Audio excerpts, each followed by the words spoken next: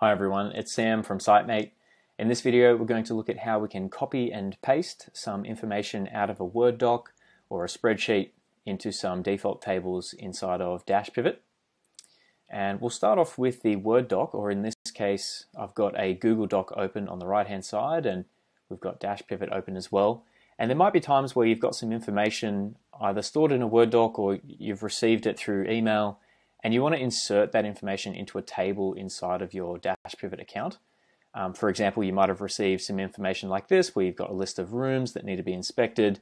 You want to take some photos and uh, store some information against that list uh, and insert that into a report. Uh, in this case, it's pretty easy. So let's start off by just trying to copy and paste this information up the top. You can see there's multiple lines of text. The second line has some bold and underlined text here. And we're going to try and paste that into this, uh, this first cell inside our table. And if I, so all I did here was select everything and right click copy. And then I'm going to right click and paste that information into Dashpivot. Now, a couple of things to make note of here. Uh, if your selection has multiple lines of text, um, Dashpivot will paste all of it into one cell. So you can see, even though we had two lines it's pasted it all into the one cell. So if you have uh, like a, a, list of lines, it's not going to make multiple rows. It will Dashpivot will paste all of that information into the cell, and the pasted information will be converted to plain text. So you can see we don't have any bold or underline here anymore. Uh, that's removed when we paste it into Dashpivot. and you can't paste uh, text into like a number cell or a date cell or a time cell um, you need to make sure that the information that's being pasted is the correct format. Um, so in this case, we would not be able to paste in, I mean, we can try, um, but we can't actually paste that information into the number cell. Dashpivot just doesn't accept it. Um, so that's pretty straightforward. So we're just trying to copy and paste some text in here. Um, if we're trying to copy and paste information from a table uh, into a table inside of Dashpivot, uh, this works as well, um, but we again we just need to make sure that with the type of information that we're pasting in, we are pasting it in uh, with the with the right format. So in this case, uh, luckily for us, the number column is a list of numbers, and the floor uh, column is you know it's text. It's got text and numbers in here. This date column definitely needs to be a date, and the time needs to be a, a time. So let's try and paste this in. So I'm going to select everything that we see in the table and right click and copy. And let's try and paste this in. Now we have five columns here. We have an extra one for photos. So I just want to show you how this behaves. If I right click and paste that in, what do we get? You can see that we've got all of the information in the first column pasted in, the second column pasted in just fine, but then we don't get anything in these other columns. Um, the reason for that is that Dashpivot is trying to paste this inspection date column into this photos column and it can't be accepted. And then with the time column, it's the same. It's trying to paste this time information into the uh, date inspected uh, column, which is a date, not a time. Uh, so that's not going to work. So in this scenario, uh, it's pretty easy. All, all that we can do is just select uh, only these columns now and copy and paste in here. And you can see that it comes in just fine and you'll notice that Dashpivot does pick up that there were some blank uh, values in here so it's sort of skipped over those. So obviously we didn't have that uh, on this side.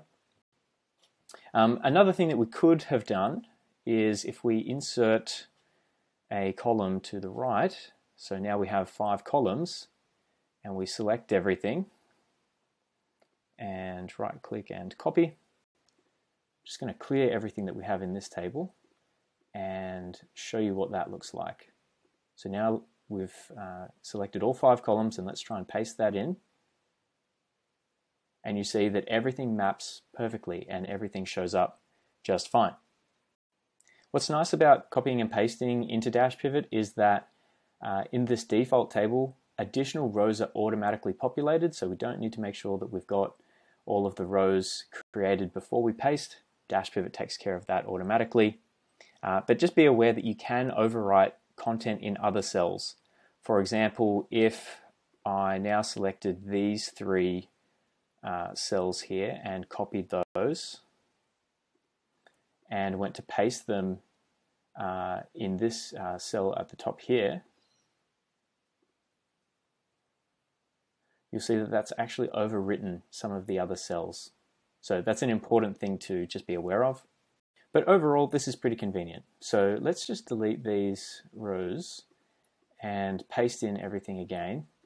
And I want to show you what we can do using the mobile app once we've pasted this information in. So let's assume we've got all our room numbers in here, we've got the floors, we've got some information about the date inspected, although we might actually need to change that. Same with the time. But let's save this form and take a look at it on the mobile app. So here we are in the Dashpivot app and we have a form here which we created online just a minute ago. And if we open it up and scroll down, you can see we've got our table and we've got all the values that have been pasted into our table, including the dates and the times. Everything's here. Um, and this is really convenient because now if we want to take a photo for uh, room 101 on level 1, uh, we can just click the Add Photos button. And in this case, we're going to open the camera and take a new photo. And maybe I'll take a photo of this plant here. We can draw on it, add some arrows, click Done. And then what we want to do is click the Next button down the bottom, add in a description, and click Save. And then you can see that our uh, photo has been added into that cell in the table. So assuming that we go through and fill out the rest of the table, adding all, all of our photos, we can click Save once we're done.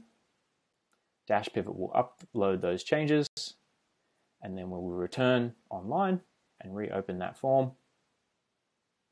You can see that we've now got that photo there. So it's really, really convenient to be able to paste uh, information from somewhere else into Dashpivot, populate our table of rooms, and then be able to go and uh, add additional detail into that table via the mobile app. So let's now take a look at copy and pasting from a spreadsheet. So now I've got Google Sheets open and I have uh, a list of parts and part numbers. And let's say that we're going to be inspecting these parts and taking some photos. We have another template set up, a parts inspection template in Dashpivot. Again, we have a default table with a couple of columns.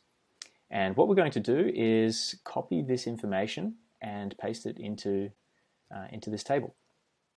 This works identically to the way that we would copy and paste out of a Word doc, uh, a table in a Word doc. So we're just going to select everything, right click, copy, put our cursor into the cell for the uh, part, right click and paste it in. and it populates our list for us. So now, again, we could open up the mobile app, take a photo against each part, save that, and it will update our uh, update our form inside of the system. Now, this is super convenient because a lot of the time, if you've got a list of parts or components, rooms, uh, anything where you've got like a long list of assets that you need to record some information against, some of the time that information is stored in a separate system and that system can provide you with a CSV or Excel export. Um, and it's very convenient to then be able to copy and paste that information directly into Dashpivot. Um, the same rules apply here as well as we saw with the Word doc. So you can copy and paste multiple rows and columns of content at a time. The new rows are created automatically, but Dashpivot will only accept the correct type of data according to the cell type. So as an example, you can't paste text uh, into a number cell, a time cell, or a date cell. It has to be the right type of information. So that wraps up this video. If you'd like to check out some of our other videos, head over to the tutorial section. We have articles and content covering all different aspects of the system, including some use cases. Uh, but if you get stuck or have a specific question, feel free to reach out to our team via live chat, both on the Dashpivot website and inside of the Dashpivot app. And that's it for this video. Thanks for watching.